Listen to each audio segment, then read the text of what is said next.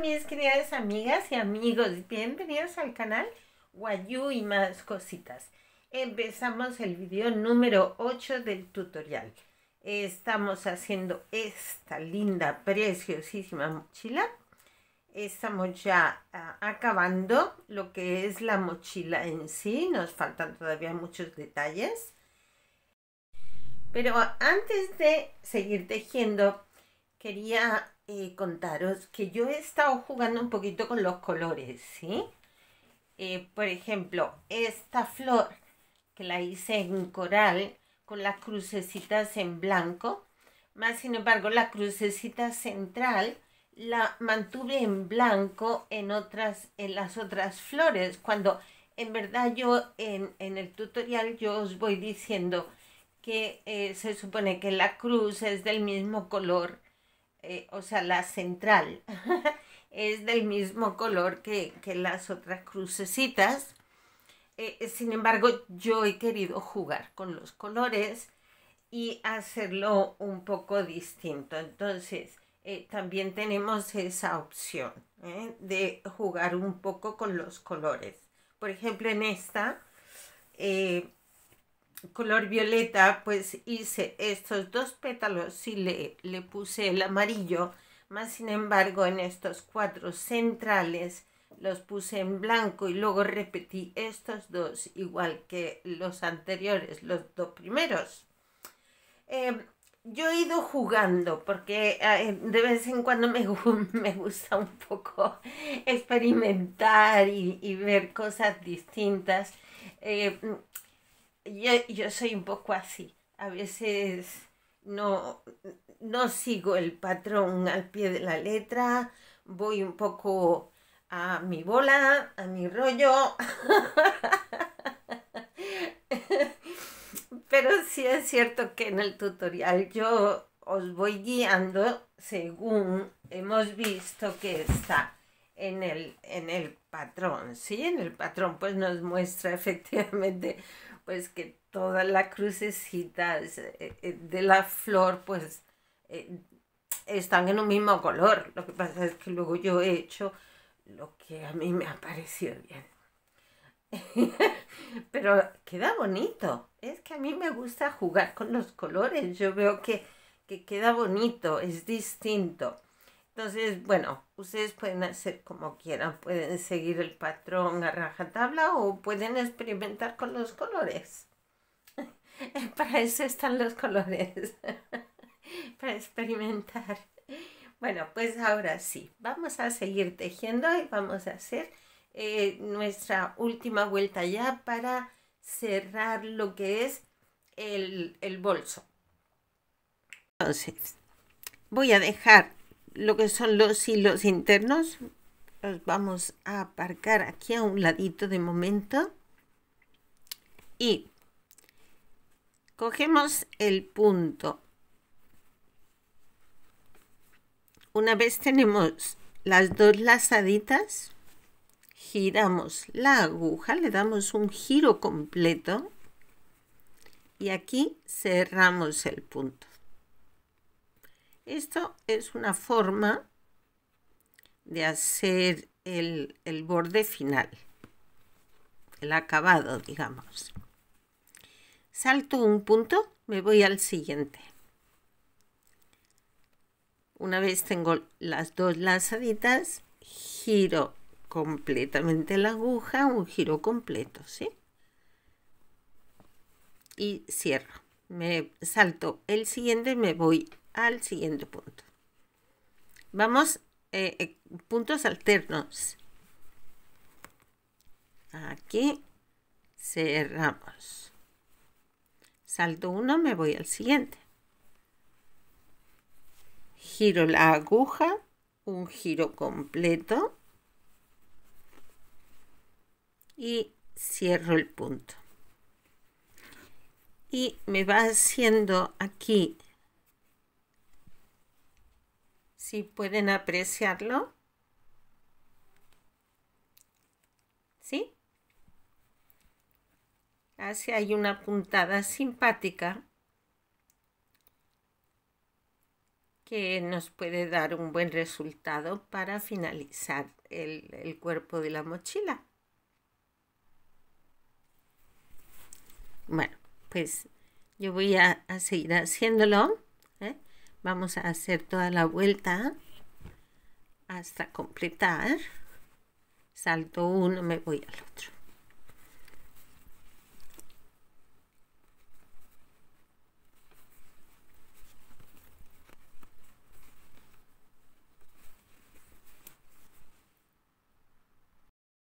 Finaliza la vuelta. qué bonito. ¿eh? Queda simpático. Bueno, pues aquí para rematar esto, lo que hago es que entro aquí por este siguiente punto, engancho el último que hice, a ver dónde está que no lo veo, aquí.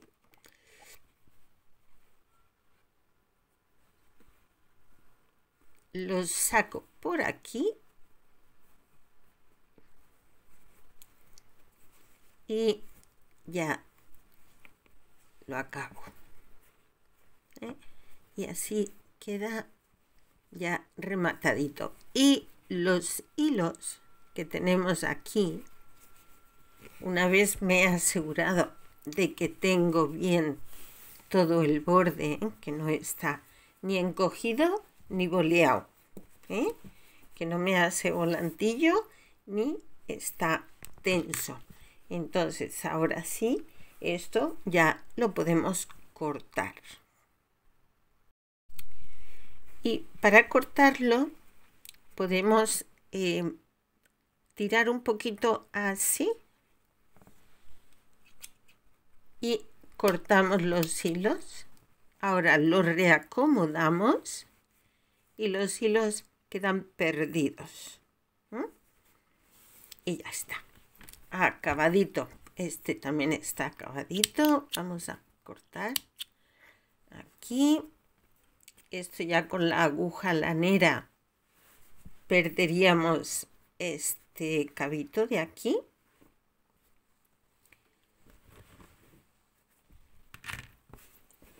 Y listo y acabado. Al siguiente paso que vamos el siguiente paso es el cordón. Vamos a hacer el cordón con los cuatro colores. Dos y dos. Entonces, aquí hacemos nuestro inicio de cordón. Va a ser un poquito gordo porque son cuatro en este principio. Ahora estos cuatro dividimos dos y dos indistintamente, ¿vale?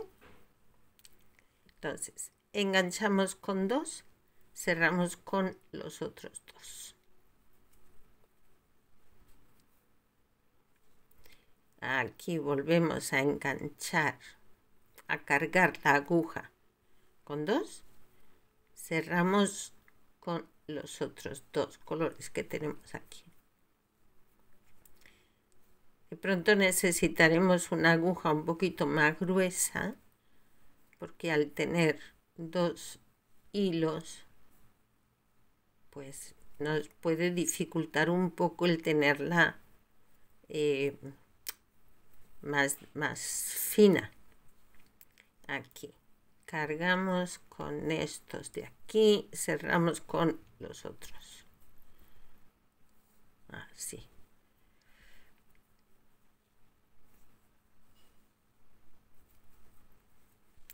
vamos tejiendo de esta forma. De esta forma que acabo yo de hacer no. Así. Cargamos con esta tejemos con la otra. Y así va quedando nuestro cordón. Está bonito ¿eh?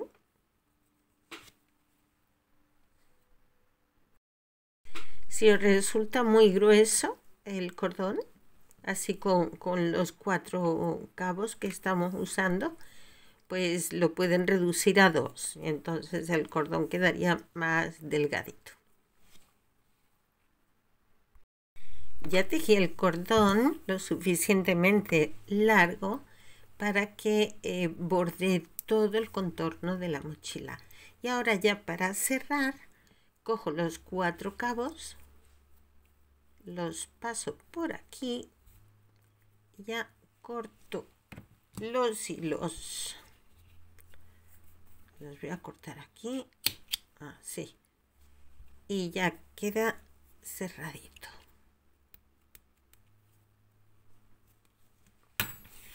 Bien, una vez hecho el cordón, ahora lo siguiente son los pompones y van a quedar unos pompones todos coloridos, muy bonitos. Vamos a por los pompones. Bueno, pues vamos a empezar a hacer los borlones. Borlones, pompones. Es que el pompón aquí es el redondo. ¿eh? Eh, le llamamos pompón cuando es eh, la bolita y estos que son así como más colganderos, digamos, que es así, de este estilo, pues le llamamos borlón. Bien, nosotros sabemos de qué estamos hablando, no importa cómo se le llame, nos entendemos de igual forma. Vamos a envolverlo eh, alrededor del cartón. Este cartón mío mide unos 10 centímetros 10, 11, ¿eh? 10 centímetros aproximadamente. Lo que vamos a hacer es envolver todos los hilos y le vamos a dar 20 vueltas. Es decir, cada vez que el hilo llegue o, los hilos lleguen aquí abajo, contaríamos 1. Y así el siguiente 2. Así hasta 20.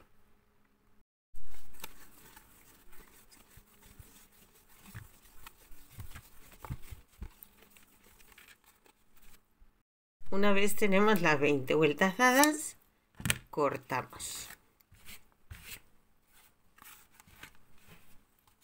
Ahora cortamos una hebra de hilo, el color que quieran. Yo lo voy a hacer en negro, pero es eh, indiferente el color que prefieran.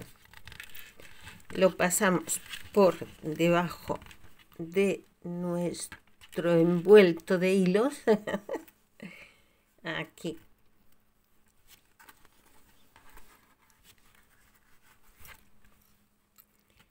y atamos. Vamos a hacer un nudito.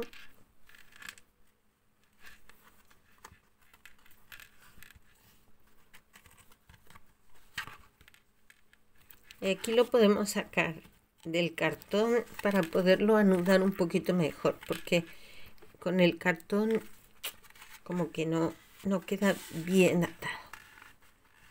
Así. Ahora sí.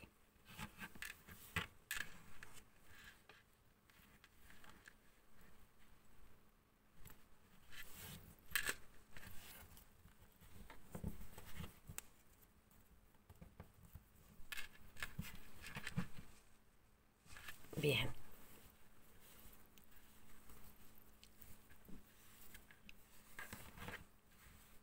Ya lo tenemos aquí sujetito tomaríamos otra hebra de hilo.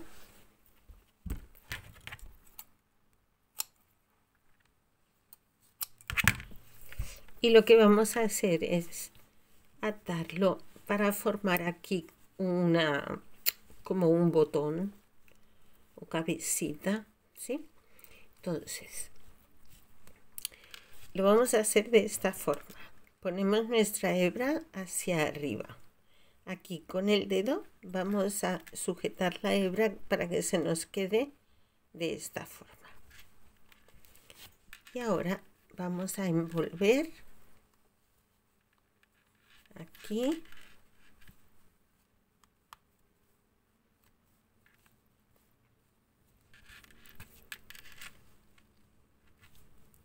bien apretadito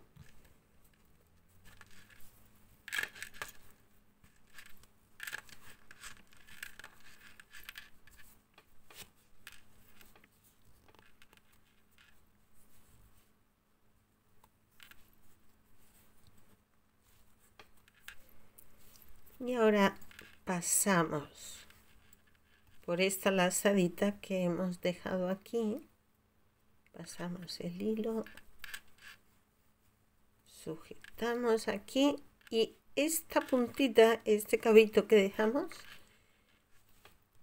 lo tensamos tensamos tensamos de aquí a ambos lados así y ya queda un nudo invisible porque ya no se ve. Ese nudo no lo vemos. Esto lo vamos a cortar aquí. Listo. Y ahora ya podemos cortar aquí los extremos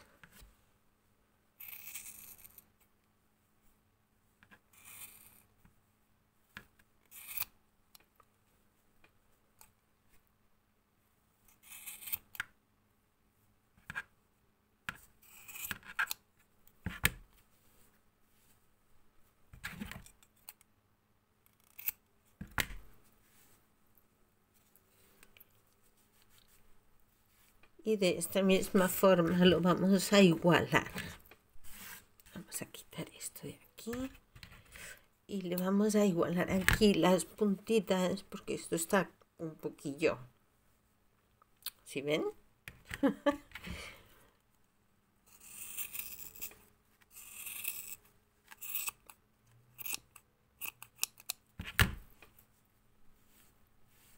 pues de la misma forma que hacemos este Vamos a repetir y hacer un segundo.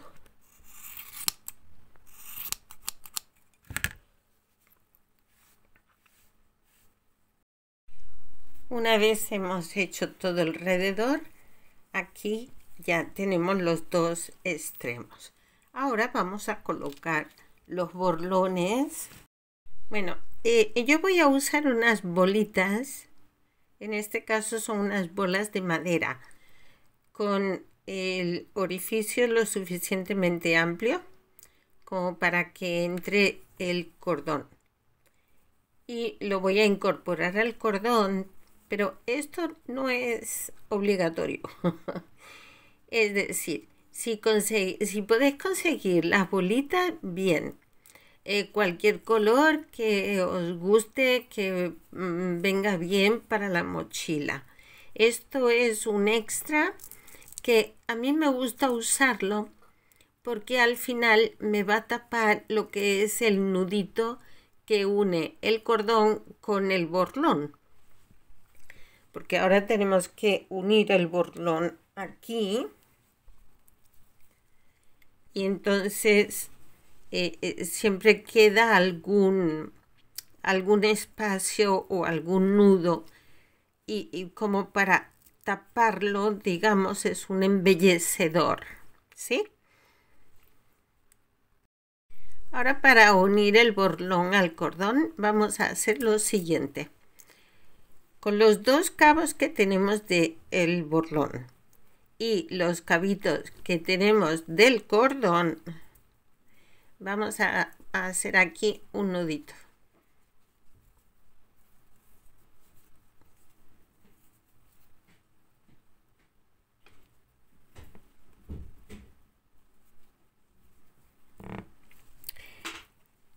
Y a continuación con una aguja lanera vamos a ir pasando todos estos hilos a través. Entonces yo voy a introducir la aguja por el centro. Ya está aquí pueden ver.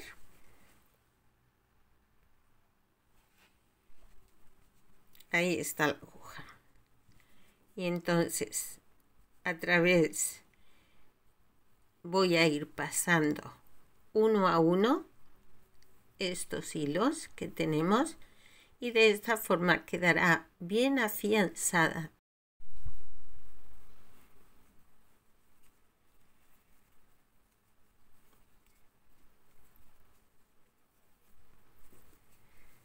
y ahora lo vamos a pasar a través de esta forma vamos a ir haciendo uno a uno todos esos hilos y quedarán incorporados al resto de los hilos que forman el borlón. Entonces no, no hay ningún problema.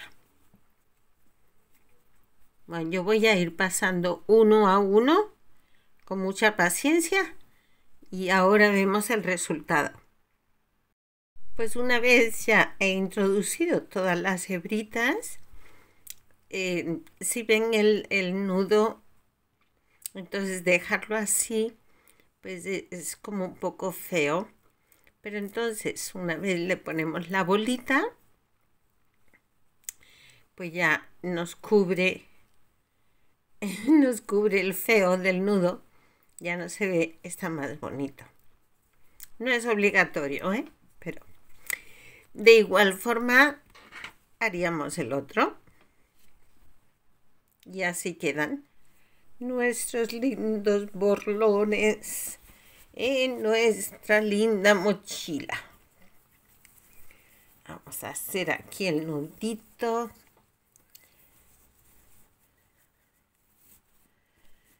Miren qué cosa tan bonita. Bueno, le falta la gasa.